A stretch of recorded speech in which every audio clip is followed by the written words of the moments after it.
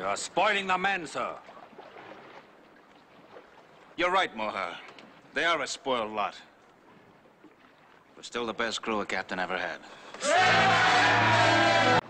Hold course for the passage, Mohar. Aye, aye, sir.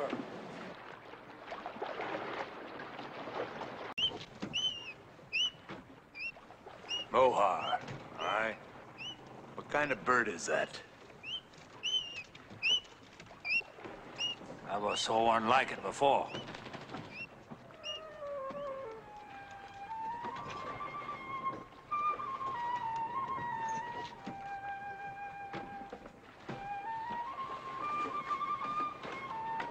That's strange. Aye, more than strange. I say it's an omen. An evil omen. That song, I've heard it many times. I heard nothing. I was talking about that.